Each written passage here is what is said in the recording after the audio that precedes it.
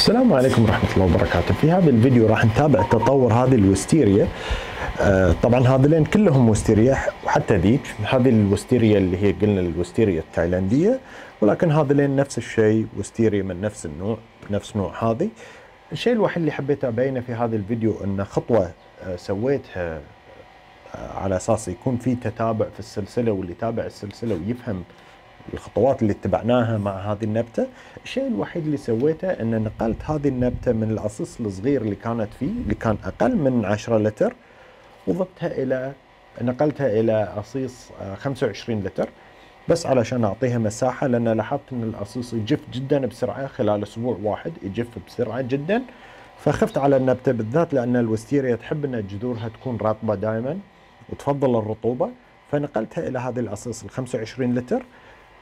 النبتة الحين مو في فترة نمو فنموها واقف فما في انطلاق نمو فنموها واقف ولكن إن شاء الله مع مع آه لما تدخل في مرحلة نمو مرة ثانية وبعد التقليم إن شاء الله راح نشوف نمو يكون أقوى لأن الجذور فيها مساحة أكثر إنها تنمو وراح تنطلق بشكل أكبر إن شاء الله.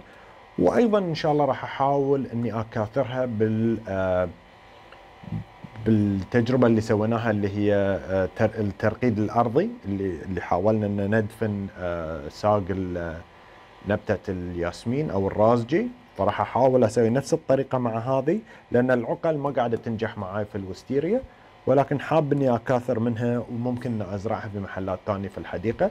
ممكن أحطها في الأرض آه، وتسلق على الطوفة أو الجدار وتعطيني منظر حق البيت.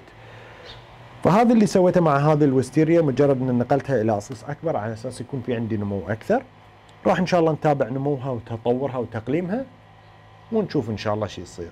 فأتمنى إن استفدتوا من هذا الفيديو السريع لو إنه ما في شيء بياني ولكن مجرد آه، لمتابعة المعلومات والأحداث في السلسلة اللي تخص هذه النبتة.